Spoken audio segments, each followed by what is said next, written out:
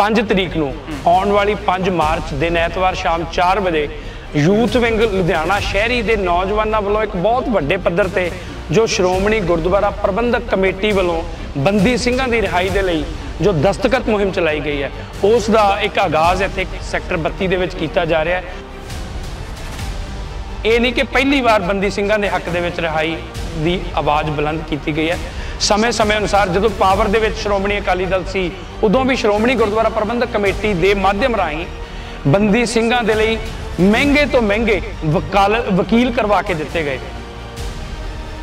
ਗਲਤੀ ਦੀ ਸਜ਼ਾ ਮਿਲੀ ਤੇ ਮੈਂ ਸਮਝਦਾ ਕਿ ਉਸ ਸਜ਼ਾ ਨੂੰ ਪੂਰੀ ਕਰਨ ਤੋਂ ਬਾਅਦ ਰਿਹਾਈ ਕਰ ਦੇਣੀ ਚਾਹੀਦੀ ਹੈ। ਇਹ ਮਸਲਾ ਸਿਰਫ ਬੰਦੀ ਸਿੱਖਾਂ ਦਾ ਨਹੀਂ, ਇਹ ਮਸਲਾ ਜਿਹੜਾ ਹੈ ਮਨੁੱਖੀ ਅਧਿਕਾਰਾਂ ਦਾ ਬਹੁਤ ਸਾਰੇ ਲੋਕ ਅਸੂਲਾਂ ਔਰ ਸਿਧਾਂਤਾਂ ਦੇ ਉੱਤੇ ਵੀ ਆਪਣੇ ਜੀਵਨ ਨੂੰ ਬਤੀਤ ਕਰਦੇ ਆ ਸੋ ਸਿਧਾਂਤਾਂ ਔਰ ਅਸੂਲਾਂ ਤੇ ਜਿਉਣ ਵਾਲੇ ਲੋਕ ਅੱਜ ਵੀ ਸ਼੍ਰੋਮਣੀ ਅਕਾਲੀ ਦਲ ਦੇ ਨਾਲ ਹੈਗੇ ਆ ਤੇ ਰਹਿਣਗੇ ਲੁਧਿਆਣਾ ਲਾਈਵ ਦੇਖਣ ਵਾਲੇ तमाम ਦਰਸ਼ਕਾਂ ਦਾ ਸਵਾਗਤ ਹੈ ਮੈਂ ਵਿਸ਼ਾਲ ਕਪੂਰ ਗੱਲ ਕਰ ਰਿਹਾ ਸ਼੍ਰੋਮਣੀ ਅਕਾਲੀ ਦਲ ਦੀ ਸ਼੍ਰੋਮਣੀ ਅਕਾਲੀ ਦਲ ਦਾ ਜਦੋਂ ਬੀਜੇਪੀ ਦੇ ਨਾਲ ਗਠਬੰਧਨ ਸੀਗਾ ਗੱਠਜੋੜ ਸੀਗਾ ਤੇ ਸ਼੍ਰੋਮਣੀ ਅਕਾਲੀ ਦਲ ਪੰਜਾਬ ਦੀ ਸੱਤਾ ਦੇ ਵਿੱਚ ਉਦੋਂ ਮਜ਼ਬੂਤੀ ਵੀ ਰੱਖਦੀ ਸੀ ਸੁਖਬੀਰ ਸਿੰਘ ਬਾਦਲ ਦੀ ਇੱਕ ਲਾਲ ਡੈਰੀ ਜੋ ਉਸ ਮੁਲਾਜ਼ਮਾਂ ਲਈ ਸੀਗੀ, ਜਿਹੜੇ ਮੁਲਾਜ਼ਮ ਜਿਹੜੇ ਨੇ, ਕਿਤੇ ਨਾ ਕਿਤੇ ਉਹਨਾਂ ਦੇ ਵਰਕਰਾਂ ਨੂੰ ਬੋਲਦੇ ਸੀਗੇ।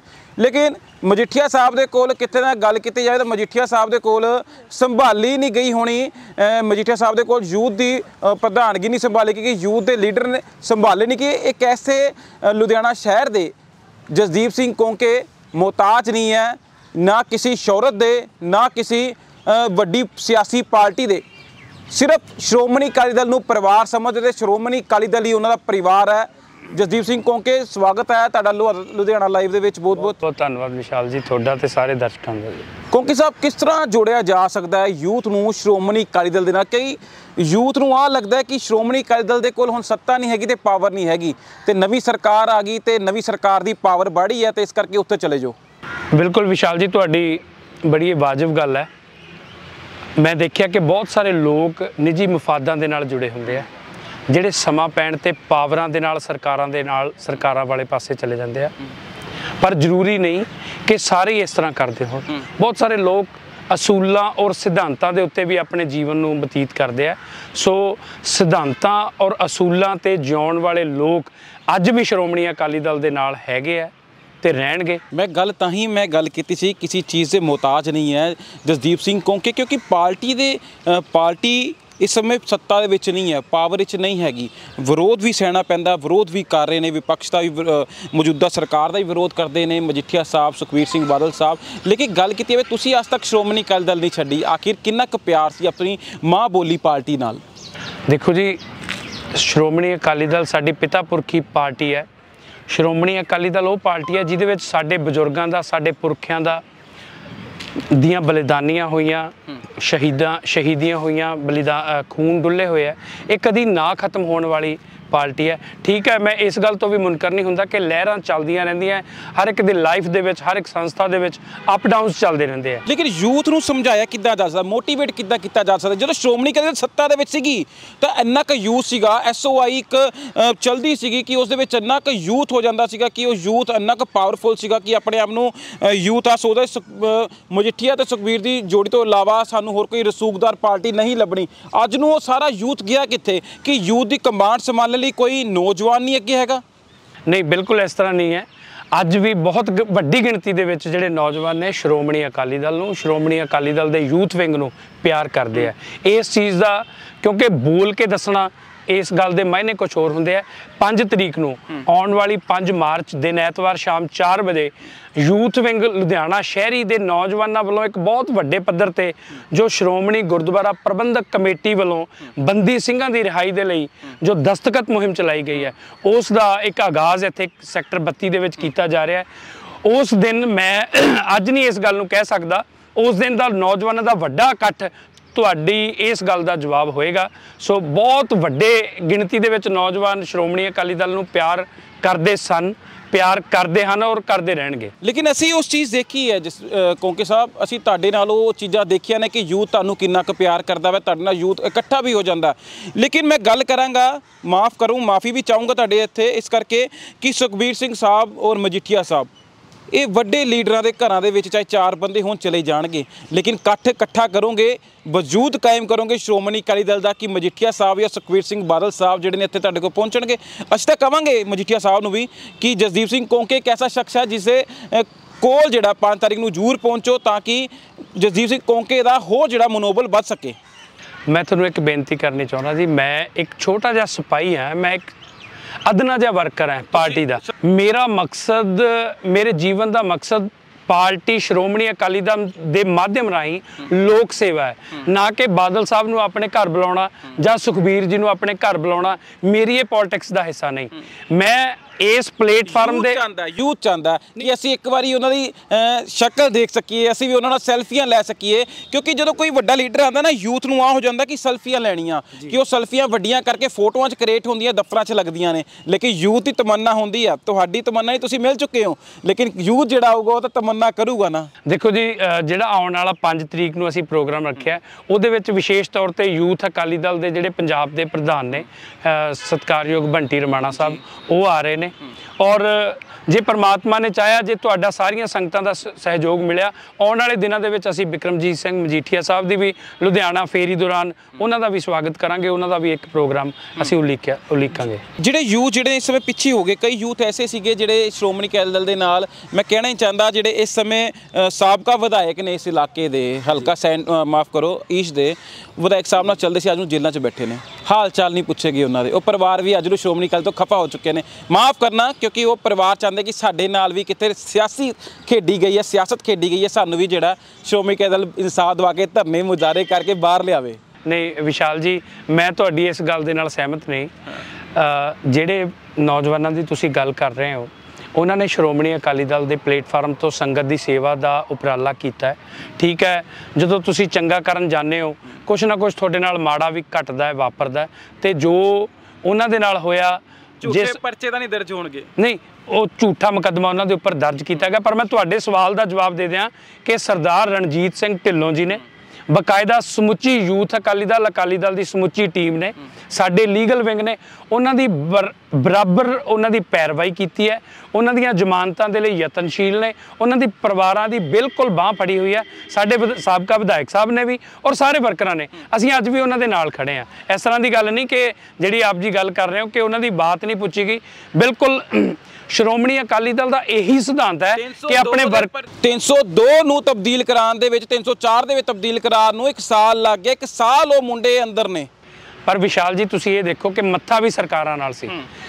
ਹਕੂਮਤਾਂ ਦੇ ਨਾਲ ਮੱਥਾ ਲਾ ਕੇ ਸਮਾਂ ਜ਼ਰੂਰ ਲੱਗ ਸਕਦਾ ਪਰ ਸੱਚ ਦੀ ਜਿੱਤ ਹੋਈ ਹੈ। 302 304 ਦੇ ਵਿੱਚ ਤਬਦੀਲ ਕੀਤੀ ਗਈ। ਚਾਹੇ ਉਹਨੂੰ 1 ਸਾਲ ਦਾ 8 ਮਹੀਨੇ ਦਾ ਸਮਾਂ ਲੱਗਿਆ ਪਰ ਮੈਂ ਸਾਡੀ ਪਾਰਟੀ ਦੀ ਲੀਡਰਸ਼ਿਪ ਦਾ।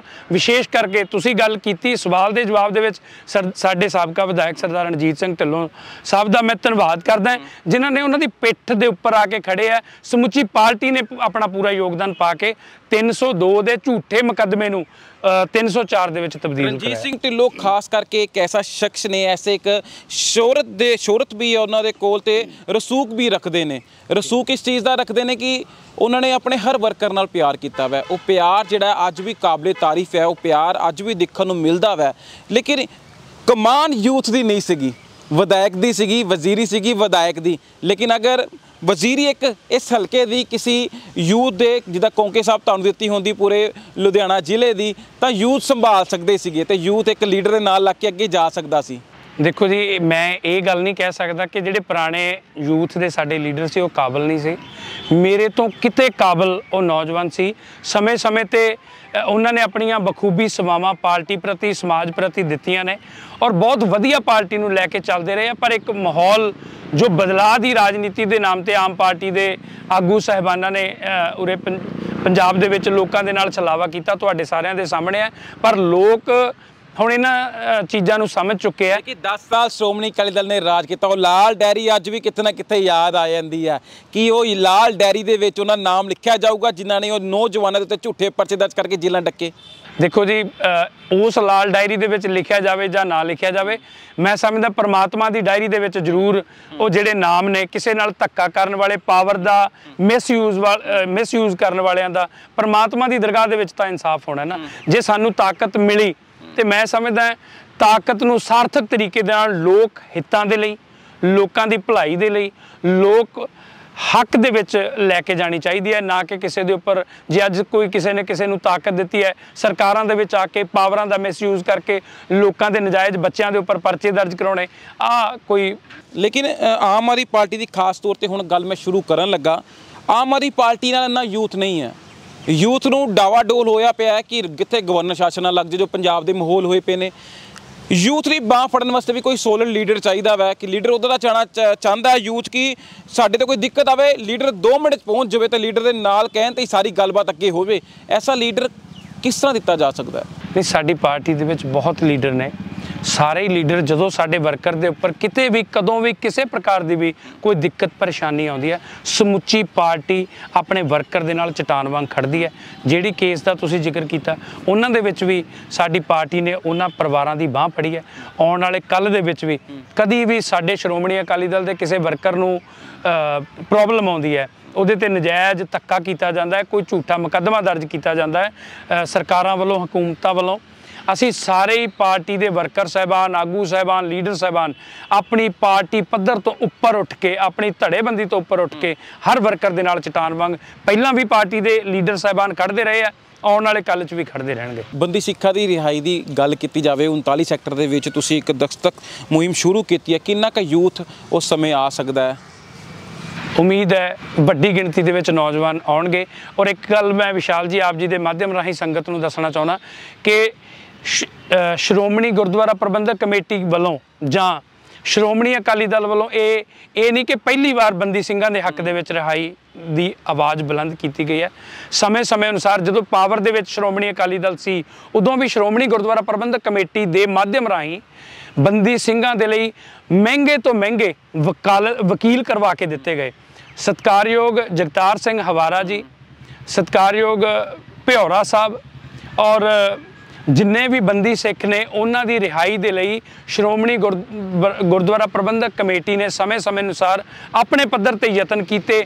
ਵਕੀਲ ਵਧੀਆ ਤੋਂ ਵਧੀਆ ਚੰਗੇ ਤੋਂ ਚੰਗੇ ਜਿਹੜੇ ਵਕੀਲ ਨੇ ਉਹ ਉਹਨਾਂ ਦੇ ਕੇਸਾਂ ਦੇ ਵਿੱਚ ਮੁਹੱਈਆ ਕਰਵਾਏ। ਗੱਲ ਸਮਝ ਨਹੀਂ ਆਈ ਕਿ ਜਿੰਨੀ ਸਜ਼ਾ ਭੁਗਤ ਲਈ ਜੀ। ਉਹ ਸਜ਼ਾ ਤੋਂ ਬਾਅਦ ਵੀ ਜੇਲ੍ਹਾਂ ਡੱਕੇ ਹੋਏ ਨੇ ਅਜੇ ਤੱਕ ਵੀ। ਕਿ ਜੇਲ੍ਹਾਂ ਤੋਂ ਬਾਹਰ ਕਿਉਂ ਨਹੀਂ ਭੇਜਿਆ ਜਾ ਰਿਹਾ? ਕੀ ਦਬਾਅ ਕੀ ਹੈ? ਕੀ ਡਰ ਕੀ ਹੈ? ਨਹੀਂ ਡਰ ਕੋਈ ਨਹੀਂ ਜੀ। ਅਸੀਂ ਜਿਹੜੀ ਇਹ ਬੰਦੀ ਸਿੰਘਾਂ ਦੀ ਗੱਲ ਕਰ ਰਹੇ ਹਾਂ ਇਹ ਕੇਵਲ ਬੰਦੀ ਸਿੱਖਾਂ ਦੀ ਨਹੀਂ, ਉਹ ਕਿਸੇ ਜਾਤ ਦੇ ਨਹੀਂ, ਜਿੰਨੇ ਵੀ ਬੰਦੀ ਨੇ, ਉਹ ਕਿਸੇ ਨਸਲ ਦੇ ਨਹੀਂ, ਉਹ ਕਿਸੇ ਸੂਬੇ ਦੇ ਨਹੀਂ, ਉਹ ਕਿਸੇ ਭਾਸ਼ਾ ਦੇ ਨਹੀਂ, ਉਹ ਕਿਸੇ ਬੋਲੀ ਦੇ ਨਹੀਂ।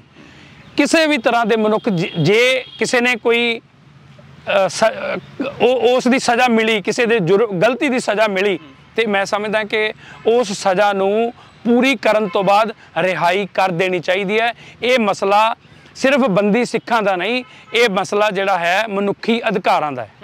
ਮਨੁੱਖੀ ਅਧਿਕਾਰਾਂ ਦਾ ਮਸਲਾ ਹੈਗਾ। ਮਨੁੱਖੀ ਅਧਿਕਾਰ ਵੀ ਕਿੱਥੇ ਚਲੇ ਗਏ? ਅੱਜ ਨੂੰ ਕਿਉਂ ਨਹੀਂ ਫਿਰ ਉਹਨਾਂ ਵੱਲੋਂ ਕੋਈ ਐਸੇ ਕਦਮ ਚੱਕੇ ਜਾ ਰਹੇ ਕਿ ਉਹ ਮਨੁੱਖੀ ਅਧਿਕਾਰ ਜਿਹੜੇ ਸੰਸਥਾਵਾਂ ਨੇ ਜਾਂ ਜਿਹੜੇ ਕਾਨੂੰਨ ਬਣਾਏ ਗਏ ਨੇ ਅੱਜ ਨੂੰ ਉਹਨਾਂ ਨੂੰ ਬਾਹਰ ਨਿਕਾਲਣ ਦੇ ਵਿੱਚ ਕਿਉਂ ਨਹੀਂ ਫਿਰ ਸਰਕਾਰ ਦੇ ਉੱਤੇ ਦਬਾਅ ਪਾ ਰਹੇ? ਜੇ ਦਬਾਅ ਪਾ ਰਹੇ ਆ ਤਾਂ ਹੀ ਅਸੀਂ 5 ਤਰੀਕ ਨੂੰ ਅਗਾ- ਦਬਾਅ ਪਾ ਰਹੀਆਂ ਨੇ। ਜੀ। ਨਹੀਂ, ਲੋਕ ਵੀ ਨਾਲ ਸਮਰਥਨ ਕਰ ਰਹੇ ਨੇ।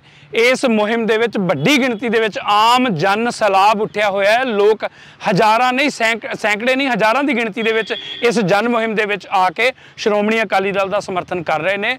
ਔਰ ਇਸ ਚੀਜ਼ ਦਾ ਪ੍ਰਤੱਖ ਪ੍ਰਮਾਣ ਅਸੀਂ ਆਉਣ ਵਾਲੀ 5 ਤਰੀਕ ਜੀ ਨੂੰ 5 ਤਰੀਕ ਨੂੰ ਆਪ ਨੂੰ ਦਿਖਾ ਸਕਦੇ ਹਾਂ। ਜੀ, ਬਿਲਕੁਲ ਜਸਦੀਪ ਸਿੰਘ ਕੋਂਕੇ ਸਾਡੇ ਨਾਲ ਮੌਜੂਦ ਸੀਗੇ 5 ਤਾਰੀਖ ਨੂੰ ਦਸਤਕ ਮੁਹਿੰਮ ਜਿਹੜੀ ਚੱਲੇਗੀ, ਸ਼੍ਰੋਮਣੀ ਅਕਾਲੀ ਦਲ ਗੁਰਦੁਆਰਾ ਪ੍ਰਬੰਧਕ ਕਮੇਟੀ ਵੱਲੋਂ 39 ਸੈਕਟਰ ਦੇ ਵਿੱਚ, ਤੇ ਵੱਧ ਚੜ ਕੇ ਹਿੱਸਾ ਵੀ ਲਈਓ। ਕਿਉਂਕਿ ਕੋਈ ਜਾਤ ਨਹੀਂ, ਕੋਈ ਕੌਮ ਨਹੀਂ, ਕੋਈ ਐਸੀ ਭਾਸ਼ਾ ਨਹੀਂ ਜਿਹੜੀ ਜਿਨ੍ਹਾਂ ਲਈ ਇਹ ਜੰਗ ਲੜੀ ਜਾ ਰਹੀ ਹੋਵੇ। ਇਹ ਜੰਗ ਲੜੀ ਜਾ ਰਹੀ ਹੈ ਸਿਰਫ ਮਨੁੱਖਤਾ ਲਈ ਜਿਹੜੇ ਲੋਕ ਜਿਹੜੇ ਹੈਗੇ ਨੇ, ਜਿਹੜੇ ਕੈਦੀ ਜਿਹੜੇ ਹਵਾਲਾਤੀ ਕੈਦੀ ਜਿਨ੍ਹਾਂ ਸਜ਼ਾ ਭੁਗਤ ਲਈ ਹੋਈ ਹੈ, ਜੇਲ੍ਹਾਂ ਦੇ ਵਿੱਚ ਬੰਦ ਨੇ, ਉਹਨਾਂ ਨੂੰ ਬਾਹਰ ਕਢਾਉਣ ਵਾਸਤੇ, ਕਿਉਂਕਿ ਉਹਨਾਂ ਦੇ ਵੀ ਪਰਿਵਾਰ ਨੇ, ਉਹ ਵੀ ਚਾਹੁੰਦੇ ਨੇ ਅਸੀਂ ਪਰਿਵਾਰ ਦੇ ਨਾਲ ਮਿਲੀਏ, ਗੁਨਾਹ ਜ਼ਰੂਰ ਕੀਤਾ ਵਾ, ਗੁਨੇਗਾਰ ਵੀ ਹੋਣਗੇ, ਲੇਕਿਨ ਸਜ਼ਾਵਾਂ ਪੂਰੀਆਂ ਕਰਨੀਆਂ ਲਈਆਂ ਤੇ ਸੁਧਰਨਾ ਚਾਹੁੰਦੇ ਹੋਣਗੇ। ਤੁਸੀਂ 5 ਤਾਰੀਖ ਨੂੰ ਜ਼ਰੂਰ ਵੱਧ ਕੇ ਆਈਓ ਤੇ ਜਸਦੀਪ ਸਿੰਘ ਕੋਂਕੇ ਦਾ ਸਾਥ ਦੇ ਕੇ ਬੰਦੀ ਸਿੱਖਾਂ ਦੀ ਰਿਹਾਈ ਵਾਸਤੇ ਦਸਤਕ ਜ਼ਰੂਰ ਕਰਕੇ ਜਾਈਓ। ਲੁਧਿਆਣਾ ਤੋਂ ਮਨੋਜ ਦੇ ਨਾਲ ਮੈਂ ਵਿਸ਼ਾਲ ਕਪੂਰ, ਲੁਧਿਆਣਾ ਲਾਈਵ